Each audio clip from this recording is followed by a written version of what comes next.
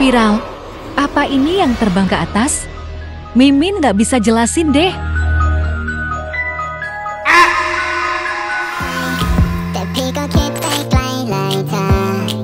Tapi kalau yang merencanakan perluasan layanan, Mimin tahu banget. PGN akan penuhi kebutuhan gas bumi di kawasan industri Mongondo, Sulawesi Utara. Peluang kerjasama ini membawa potensi pemanfaatan gas bumi yang besar sobat bagi kebutuhan industri. Perkiraan di tahap awal, kebutuhan gasnya mencapai 45 BB loh sobat. Direncanakan kebutuhan tersebut dilayani dalam mode LNG oleh PGN. PGN terbuka untuk berkolaborasi dengan berbagai pihak dengan portofolio 2.600 industri dan lebih dari 800.000 rumah tangga.